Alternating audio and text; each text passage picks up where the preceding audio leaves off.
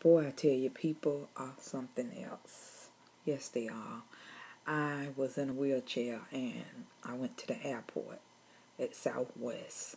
So they, you know, from the door to where I need to go, um, I couldn't walk that far. If I could, I wouldn't have dare called them to help me, but I knew I couldn't even walk halfway to even get to where I needed to go um, to check my bags and everything in and to, you know, go through um, the checkpoint. I couldn't even get there.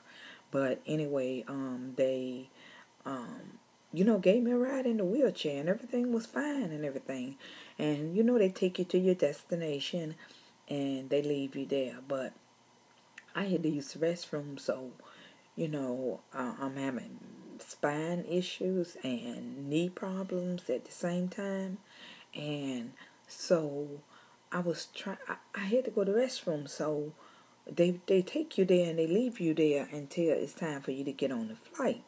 And then someone, um, one of the, um, I don't know what you call it, flight attendants, then they'll come and they'll push you to the plane where you're able to actually board the plane.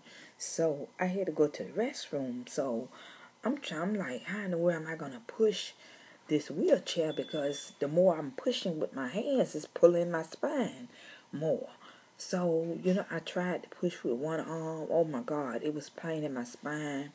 And you know, people were actually watching me trying to push by myself, and I wasn't even going anywhere trying to push.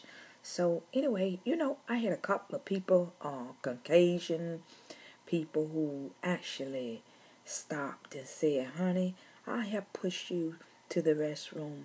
And they actually stopped and pushed me to the restroom. And I went in. They waited for me and say, I'll take you back to your destination. And I was like, whoa, okay.